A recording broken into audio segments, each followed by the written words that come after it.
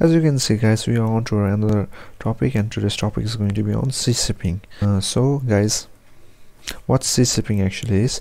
Shipping your orders via ship and sea. The time duration for this sea shipping is around 30 to 45 days uh, whereas air shipping will cost you around 7 days. But sea shipping is way cheaper than air shipping and the shipping terms are more as same as I showed you in my previous video guys uh, sea shipping will cost time but uh, will save you money. But if you are a complete beginner then I recommend you uh, shipping your first order via air guys.